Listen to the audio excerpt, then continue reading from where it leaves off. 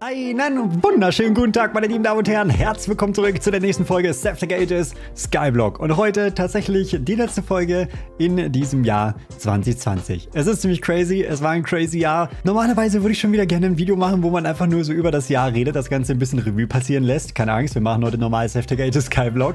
Aber es wäre natürlich trotzdem ziemlich cool, wenn wir uns nicht mit einem anderen Video oder in einem anderen Stream sehen. Dann wünsche ich euch jetzt natürlich schon mal einen guten Rutsch in 2021. Ich hoffe, ihr kommt alle gut rein. Ich hoffe, das Ganze ganze Jahr war nicht unbedingt so übertrieben bad. Wir hatten sehr viel coolen Stuff dieses Jahr. Wir hatten einige coole Minecraft-Projekte, einige coole andere Projekte und ich bedanke mich natürlich sehr dafür, dass ihr die Zeit mit mir dabei verbracht habt, dass ihr die Videos geguckt habt, die Projekte gefeiert.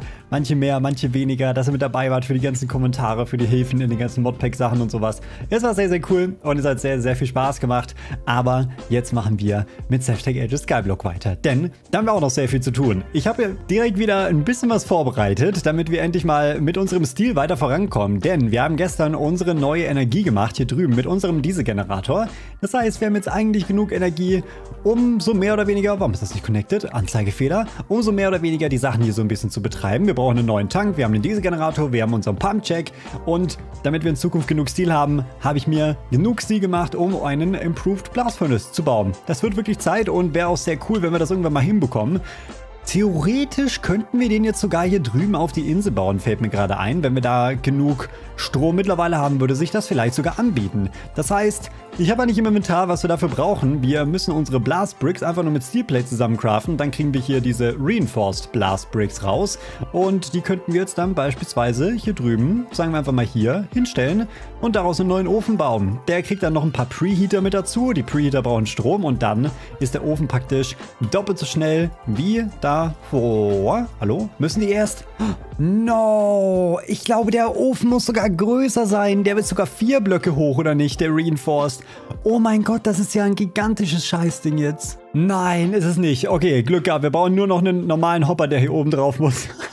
Ich habe legit gedacht, ich habe es komplett verkackt. Aber gut, dann hatten wir tatsächlich noch äh, ein bisschen mehr Glück. Okay, ein Hopper war, glaube ich, nur Eisenplates, ne? Eisenplates, ein Bronzegear und eine Kiste. Okay, das kriegen wir zusammen. Die anderen Sachen, die wir noch brauchen, wir haben sogar... Ach, das ist ein Radiator-Block. Nee, das hätte sogar fast ganz gut gepasst. Aber leider nur fast. Wir brauchen noch das da hier drüben. Wir brauchen einen externen Heater. Wir brauchen ein bisschen Redstone. Und dann haben wir daraus praktisch... Habe ich das schon gebaut? Ja, okay. Ah, ganz kurz ein bisschen verwirrt. So, dann haben wir zwei externe Heater und die beiden Dinger hier können wir dann zu den Blast Furnace Preheatern bauen. Tada! Und die können wir anschließen, um daran eben wunderbar Energie zu verwenden. Hatten wir nicht noch zwei, ja, zwei Terrakotta? Dann benutzen wir die mal ganz kurz für so. Ah, das sind Relays. Wir brauchen mehr Terrakotta. Hier sind mehr Terrakotta. Ich lebe mal Leben. Dann machen wir das hier und das hier und dann machen wir so. Und dann haben wir eben die MV Wire Connector. Die sind auch sehr wichtig. Wie gesagt, HV Wiring wäre immer noch, glaube ich, eine sehr wichtige Sache, die wir brauchen die wir machen müssen. Aber darum kümmert sich der sogenannte Zukunfts-Heiko. Der ist da immer ganz froh drum. Und für den Rest schnappen wir uns die Kiste, wir schnappen uns unser Bronze, wir schnappen uns unser Eisen, wir nutzen unsere wunderbare Iron Press. Theoretisch könnten wir dann sogar die Maschine, die wir gerade stehen haben, warte, hier ist gerade ein Wiring. Ähm, oh, ich habe gar keine Wait, ich habe gedacht, wir haben uns mal eine Ding gemacht. Hier eine, äh, wie, wie heißt das denn? Eine Metal Press für äh, ein Gear. Aber das haben wir scheinbar nie gemacht. Das heißt, wir müssen das trotzdem gießen. Ich meine, das ist nicht so unbedingt super schlimm, aber das hat mich ein bisschen enttäuscht jetzt gerade. So, und there we go. Da ist das wunderbare Stück. Jetzt haben wir unseren Hopper und damit haben wir alles für unseren besseren Blast Furnace fertig. Der kommt oben drauf, Preheat an die Seite, Kabel dran, Steel rein und wir sind ready to go. Nice, der kommt schon mal nicht dahin. Der kommt hier hin. Dann machen wir Hämmer, Rechtsklick. Jawoll. Der ist schon super slim. Und jetzt kommen hier beide an beide Seiten der Preheater mit dazu. Und der kriegt jetzt, wie gesagt, nochmal einen Anschluss, beziehungsweise beide von denen. Einer hier, einer hier an unser wunderbares Netzwerk. Das heißt einmal nach hier drüben. Ja, vielleicht machen wir da sogar noch erstmal unseren Pump-Check an, damit der wieder ein bisschen Energie fördert, damit das Ding hier ein bisschen mehr Energie pumpen kann. Und dann würde ich vielleicht sogar wirklich zusätzlich noch so einen kleinen Balloon hier hinsetzen, damit die Kabel davon ein bisschen besser geroutet sind, als sie jetzt gerade geroutet werden. Und there we go. Perfekto. Okay, Pumpcheck geht es gut. Der braucht natürlich noch ein bisschen weniger Energie. Nafta füllt sich hier tatsächlich immer noch. Das ist äh, suboptimal. Das heißt, wir sollten uns dringend darum kümmern. Aber ansonsten ist der Improved Blast von uns zumindest schon mal da. Machen wir den wieder aus. Der darf halt nicht zu viel verbrennen. Ne? Wir brauchen immer so ein bisschen Restenergie, damit wir das benutzen können. Aber ich glaube, solange wir Energie im Pumpcheck haben, sollte das soweit passen. Das ist es nicht so das größte Problem. Okay, und dann können wir später hier das ganze Zeug reinwerfen. Oh, der baut jetzt halt die Energie. Das, das, das sollte er nicht machen. Okay, dann warten wir lieber noch mal ganz kurz. Dann machen wir uns mehr Sheet Metal, mehr Iron Sheet Metal und bauen mal ganz kurz für unseren wunderbaren Dieselgenerator die beiden Zwischentanks auf. Für Nafta und für normalen Diesel. Oder auch nicht, weil wir tatsächlich kein Eisen mehr haben. Das ist chillig. Das hätte ich nicht gedacht. Okay, wir haben scheinbar wirklich sehr viel Eisen und sehr viel Stil und sowas in letzter Zeit verbraucht. Dann schnappen wir uns nochmal unsere Abyssinite Pickaxe und machen uns auf die Suche nach Stil, Eisen, Eisen. Da haben wir es doch. Oh mein Gott, was für ein gigantisches Vorkommen war das denn? Ja, heilige Maria, Mutter Gottes. Was zur Hölle? Alter, das waren 1, 2, 3, 4, 4 Stacks basically. Und die ganze Wand davon ist immer noch voll. Unsere Pickaxe ist einfach kaputt gegangen deswegen. What? Oh, wir haben ein Ding. Ah, aber ich kann die Pickaxe nicht reparieren. Okay, dann ist egal. Warte mal, das markieren wir uns mal. Ich muss generell mal anfangen, wir mehr solche Ore-Deposits irgendwie zu markieren, damit ich die immer wieder finde. Aber das war crazy. Da war so viel. Das ist einfach nur ein riesiger Klotz. Ja, und dann heißt es erstmal das ganze Eisen hier einfach reindampen und so schnell es geht alles komplett zu Eisenblöcken machen. Das dann zu Sheet machen. Wir können in der Zwischenzeit schon mal ein bisschen mehr, das klingt sehr gut, äh, ein bisschen mehr Treated Wood machen, damit wir das auch mal wieder losbekommen. Wir haben einfach, Alter, wir brauchen echt unbedingt ein neues Storage-System, ne? Es wird Zeit. Wir müssen jetzt wirklich mal diese Quelle... Wir sind ja eigentlich schon fertig mit... Wir haben uns viel zu mehr auf anderen Stuff konzentriert, aber würden wir uns mal wieder auf eine richtige Questline fokussieren. Ich glaube, dann wären wir schon längst fertig und dann könnten wir vielleicht sogar in Stage 4 unser erstes provisorisches äh, Lagersystem machen oder so. Das wäre sehr nice. Dann haben wir 59 Treated Wood und 58 Dark Oak Wood. Das ist normalerweise ganz okay. Damit bin ich auf jeden Fall zufrieden. Und mit dem machen wir uns jetzt direkt mal wieder ein paar Fences. Das heißt, wir machen die Dinger hier. Die werden wir gleich für unsere ganzen verschiedenen Tanks brauchen. Und ja, dann fehlt noch Sheet Metal. Okay. Wait, was ist das denn bitte? Ich habe gerade irgendwie... Oh, das ist Compressed Steel. Aber wie mache ich das denn? Ach, über eine 2x2 Packaging. Oh nein. Was zur Hölle? Ach shit, jetzt habe ich hier dieses Compressed Iron von Pneumatic Craft gemacht. Ohne dass ich das gerade wollte, weil ich die falsche Press benutzt habe. Ist das scheiße? Ich wollte die Unpacking Press haben, weil das... Oh nein. Okay, ich meine, das ist nicht so super bad. Wir werden das in Zukunft auch brauchen, aber... Ich sag mal, super optimal ist es trotzdem nicht, weil das halt gerade vier Eisenblöcke waren und da ist jetzt relativ wenig rausgekommen. Aber hey, ich meine, vielleicht können wir es für die Zukunft gebrauchen oder so. Okay, das sind, glaube ich, genau genug. 66 Stück sollte normalerweise passen. Das Ding ist halt, oh mein Gott, ich hoffe, das passt jetzt gleich alles, aber wir müssen ja unseren kompletten Dieselgenerator wieder abbauen. Das heißt, wir werfen irgendwie mal so ein paar... Was ist hier noch drin? Irgendein komischer Chart von Betweenlands. Okay, wir werfen mal die ganzen Sachen hier drüben rein.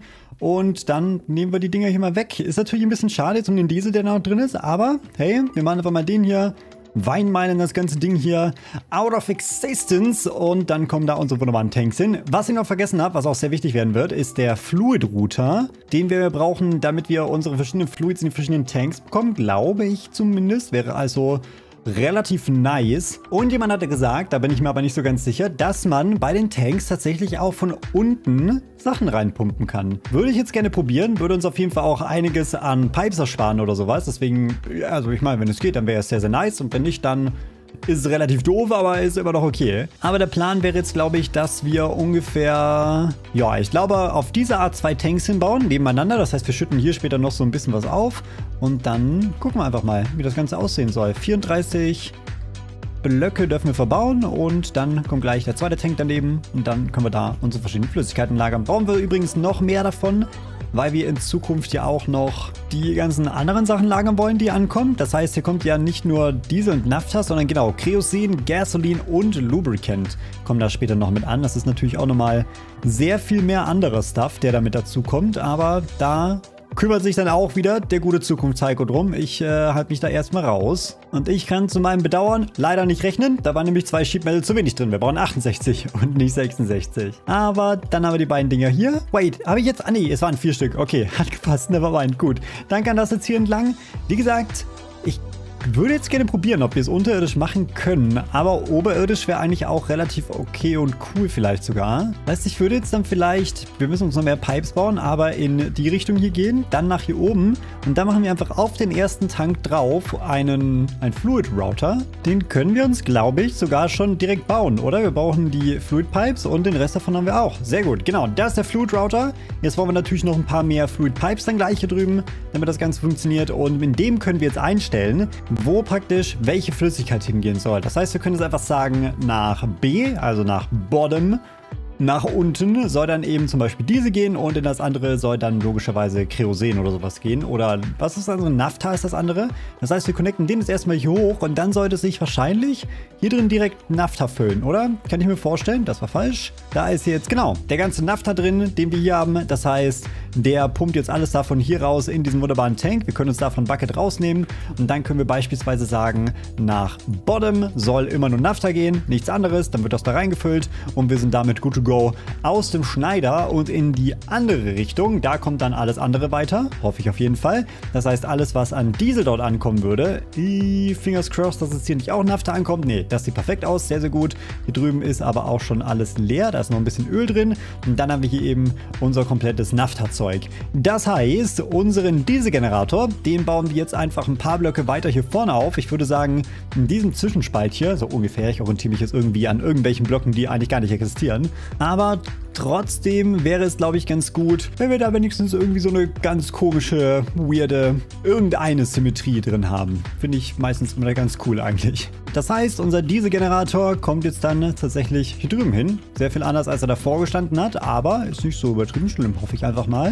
Zack, here we go, Generator-Block angeklickt und dann können wir hier drüben wieder unser Pipe mit verbinden. Wir können dann dort rein, sollte ja unser Diesel kommen. Das heißt, wir können hier einfach mal den Hebel umlegen, schon mal direkt, damit das da reingeht. Beziehungsweise wir können den Diesel erstmal na, nee, können wir nicht, ne? Wir müssen den Hebel, glaube ich, schon direkt umlegen, damit das funktionieren würde. Dann machen wir hier wieder zwei Connector drauf. Warum ist die jetzt etwas rot? Weil ich die noch im Inventar habe? Wahrscheinlich, ne? Weil er denkt, hier ist irgendwas falsch. Und dann würde ich, glaube ich, sogar am liebsten auch schon wieder hier oben irgendwie. Ich hoffe mal, das passt so. Die Luftblöcke sind immer super weird. Irgendwie, wenn man nicht genau weiß, wo man hin, hinbauen möchte oder wo man hinbauen würde, dann ist es sehr schwer, Blöcke in Minecraft zu setzen. Aber wir connecten jetzt die Dinger einfach erstmal. So, dann müsste alles normalerweise miteinander connected sein. Die haben natürlich noch keine Energie. Das Ding hat noch ein bisschen Energie.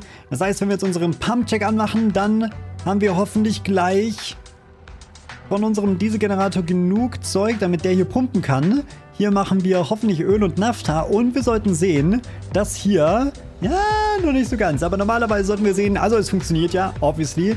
Ich habe nur gedacht, dass wir ab und zu sehen, dass hier dann trotzdem sich ein bisschen Diesel ansammelt oder so. Das wäre sehr, sehr cool gewesen. Wir können aber eben den Hebel umlegen. Zack, dann sollten wir es sehen. Genau, Diesel sammelt sich hier drüben an. Und unser Generator verwendet das Ganze, um alles hiervon zu betreiben. Das ist super nice. Ich meine, der hat immer noch ein bisschen zu wenig Energie. Er hat gerade, er kommt klar mit der Energie. Wahrscheinlich, weil er weniger RF pro Tick braucht, oder? Oder genauso viel wie die Kabel leiten können. Und irgendwie ist das ganze Ding, was wir gemacht haben, super unsatisfying. Da müssen wir uns mal irgendwas anderes überlegen. Vielleicht einen Ballon dann lieber genau in die Mitte davon. Und nicht drei so ganz verschiedene, die die alle irgendwie nur ihre Maschinen betreiben. Aber eigentlich sind die Dinger schon irgendwie cool. Ich weiß nicht. Ich bin mittlerweile ein größerer Fan als am Anfang. Ey, das ist echt wirklich super, super, super strong. Wir lassen die Dinger jetzt einfach mal. Ich glaube, der Generator produziert Energie, wenn er Energie braucht. Das heißt, hier würde jetzt normalerweise auch ja, immer noch kein Diesel ankommen. Das ist echt weird. Ich hätte gerne, dass wir ein bisschen Diesel auf Vorrat haben, aber da müssen wir, glaube ich, länger laufen lassen. Wir brauchen jetzt natürlich erstmal eine Menge Steel. Denn die nächsten Quests, wenn wir da endlich mal das Circuit Board machen, das ist, dass wir über den Immersive Tech Boiler und Solar Tower Energie produzieren, beziehungsweise Steam. Und danach können wir damit eben Energie machen. Und dann können wir Naphtha und Steam zu Propane machen. Und Propane können wir zu Plastik machen, genau zu Liquid Plastic. Und Plastik können wir dann dafür benutzen, um ja, schlussendlich unser erstes Plastik herzustellen und damit dann wahrscheinlich auch in Richtung ME-System oder sowas in die Art zu gehen. Das wird auf die Insel, glaube ich, nicht mehr so gut passen. Ne? Ich würde sagen, das ist erstmal unsere Ölbohrungs- und Energieproduktionsinsel. Also da will ich nicht so viel antatschen. Vielleicht verschieben wir den Ofen sogar nochmal. Und dann solche drüben ja später. Da müssen wir auch noch gucken, wie wir das am besten machen. Der See kommt natürlich komplett weg hiervon. Aber ich frage mich immer noch, also was der beste Weg ist, um diese Leute hier loszubekommen. Ob es irgendwie, ist hier irgendwie Spawner oder sowas mit dabei, der, den man abbauen kann? Oder irgendwas anderes in der Art hier? Ist auf jeden Fall... Das ist einfach eine Hexe gespawnt. Okay, ich habe jetzt schon super viel von dem und den ganzen Zeug hiervon abgebaut. Ich will die halt auf jeden Fall loswerden. Wenn ich hier meine Fabrik auf die Insel baue, dann sollen nicht diese komischen Glibberviecher hier überall sein, sondern da soll wirklich gar nichts mehr da sein. Da soll nichts stehen, da soll kein... Okay, die ist wieder kaputt, sehr gut. Aber da soll kein See mehr sein, da sollen diese Viecher nicht mehr sein. Ich hoffe, es gibt irgendeinen Block, der das ausmacht. Wahrscheinlich diese Biomasse. Weil ich sag mal so, wenn die Typen hier immer spawnen würden, wäre irgendwie schon hart beschissen. Warte, Biomasse. Jetzt nochmal probieren mit... Äh, ja, okay, das scheint gut zu sein. Und es brauchen gerade auch keine neuen nach. Okay, das scheint wirklich sehr gut zu sein. Dann war das vielleicht wirklich das Ding, was uns auch gefehlt hat. Alter, und wie er hier Stück für Stück... Guck mal, der baut ja so lange ab, wie ich möchte, ne? Alter, der baut einfach so lange ab, wie ich Durability habe. Wie krass ist das denn? Das heißt, wenn wir irgendwann eine Unbreakable Pickaxe hätten, dann könnten wir wirklich so eine ganze Insel oder sowas in, in einem Schwung praktisch komplett abbauen, glaube ich. Das wäre super sick. Ja, und sonst haben wir jetzt noch die drei Typen da, die hier gerade waren, ne? Hier ist noch der Corallium Stone. Ich glaube, hier ist noch eine so eine Statue. Da sind noch mehrere Statuen, die müssen wir noch wegmachen. Aber dann sieht das doch sehr gut aus hier drin. Ausgezeichnet. Das waren alles Sogoffs, die hier drüben waren. Immer noch ein sehr guter Name. Dann können wir das Loch hier zuschütten. Ey, nice. Okay, das ist sehr gut. Und dann haben wir unsere Sachen hier drauf. Wir haben wieder alle Fische getötet, aber da will ich mich nicht beschweren. Dann machen wir da irgendwie eine coole Brücke rüber, Hängebrücke oder so Plattformen. Ich glaube, so Jump'n'Run-Plattformen wären vielleicht auch ganz cool, auch wenn ich niemals Jump'n'Run machen würde darüber, aber einfach nur für den Style. Könnte das auch schon ein paar kleine Bonuspunkte geben. Das heißt, wir haben jetzt einen sehr guten Plan. Wir haben eine neue Insel erobert. Die gehört jetzt schon mal uns. Da steht unser Name drauf. Da stehen bald unsere Maschinen drauf.